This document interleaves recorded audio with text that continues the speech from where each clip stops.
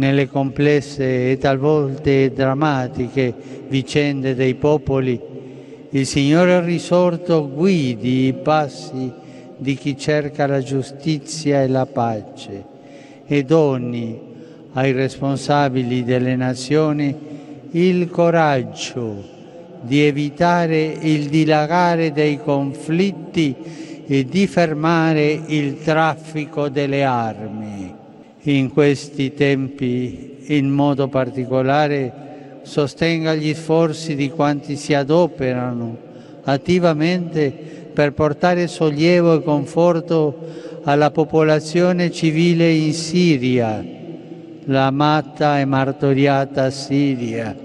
vittima di una guerra che non cessa di seminare orrore e morte.